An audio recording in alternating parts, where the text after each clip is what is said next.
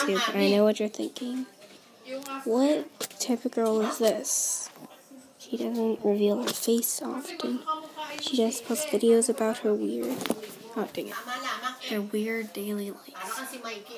Well, let me tell you something about myself. I'm shy. I'm new to YouTube. And I'm weird. I don't think I go to your school. Most people here.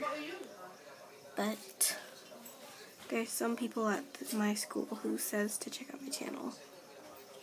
The only two subscribers I have are family. And I don't really care. I don't even care if I don't have any subscribers. Because YouTube just isn't about subscribers. It's showing people funny videos, awesome stuff, you know? Some people have YouTube different description in a different way. Subscribers to see how much they are. I'm not talking about PewDiePie because that dude's awesome. Real See you dudes.